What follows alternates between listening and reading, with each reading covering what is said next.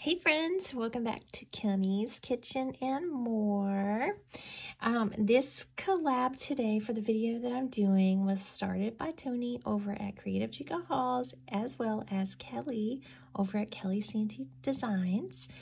And this collab is called Fun Card Friday, hashtag Fun Card Friday. So um, anyone is welcome to join. It's an open collaboration and so anyone could join and make these cards. You can make any kind of card you want, birthday card, Valentine card, um, Christmas, whatever your heart desires. Make a card and just put in the hashtag Fun Card Friday in all lowercase letters. And of course, uh, tag Tony as well and her channel, as well as Kelly and her channel.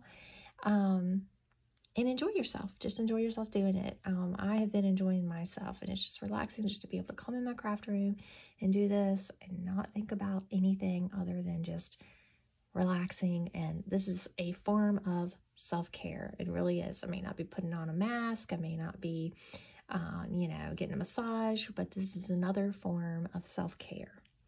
So with that being said, I am looking into towards Easter and I actually want to do so many Valentine cards and then so many Easter cards. And then, of course, as the year goes on, work on um, Christmas cards.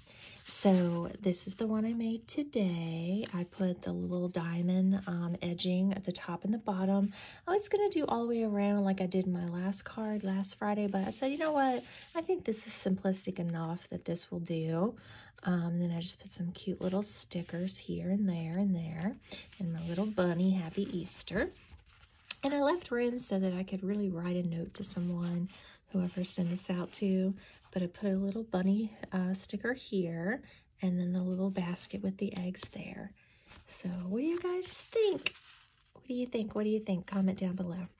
We'd love to have you. And uh, like I said, it's open, so anyone's welcome to join. You can join every week or every other week or once a month. So with that being said, I think I um, I really, I thank Tony and Kelly for doing this because like I said, it is um, quite therapeutic just to sit down in your craft room and craft. I mean, some people use yoga as a form of, you know, relaxation. Some people go get massages and we sit in our craft room and craft things for you guys so we can send out to family and friends.